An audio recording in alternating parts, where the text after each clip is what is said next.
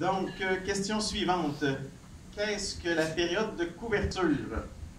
Donc, on a toujours le choix de réponse. Donc, c'est soit la saison où il fait froid et que pour écouter la télé, euh, il fait trop froid pour écouter la télé sans couverture, ou c'est la période pendant laquelle les prestations sont payables. C'est B? C'est B, oui. Donc, effectivement, une question importante à poser quand on a une assurance invalidité, c'est pendant combien de temps on va être couvert? Parce que euh, là, ça peut avoir l'air gros, un deux ans, mais quand on a fait un AVC et qu'on n'est plus capable de parler, ben, les deux ans peuvent passer assez rapidement, puis après ça, ben, on se retrouve le bec à l'eau.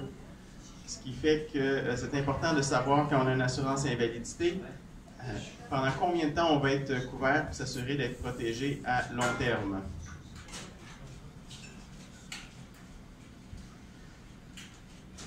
C'est moins rigolote, il n'y a pas de choix de réponse, là, mais bon, je vais la poser quand même. quand peut-on réclamer avec une assurance invalidité? Donc, pour réclamer à une assurance invalidité, la question que l'assureur y pose, c'est êtes-vous capable de faire votre travail? Donc, oui ou non. Bon, des fois, il y a des périodes, euh, il y a des euh, zones grises un peu plus en assurance invalidité, mais la, question reste est-ce qu'on peut travailler, oui ou non? Euh, des fois, il y a des gens qui confondent et euh, qui, ont une assurance maladie grave. Ça, juste pour faire une petite parenthèse, l'assurance maladie grave, ça, ça, on va pouvoir réclamer quand on a une des maladies qui sont listées dans la police. Donc, c'est possible d'avoir, euh, de ne pas être capable de travailler, mais pas avoir une de ces maladies-là. Et euh, à ce moment-là, ben, on se retrouve comme coincé et on n'a pas de protection. Donc, est-ce qu'on peut notre travail. Si la réponse est non, ben là, à l'assurance invalidité, c'est là que ça va embarquer. Et là, j'ai pas mis la question à un million. J'ai pris les dollars parce que ça coûte pas un million, une assurance invalidité.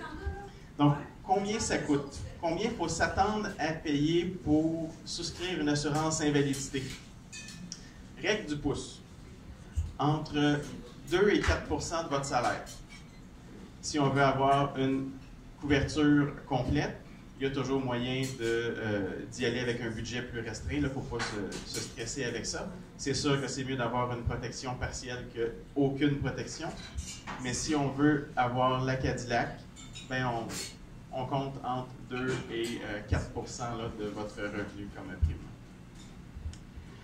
Alors, euh, il me reste la question qui tue. Alors, tu veux une assurance invalidité, ma poule? Mm.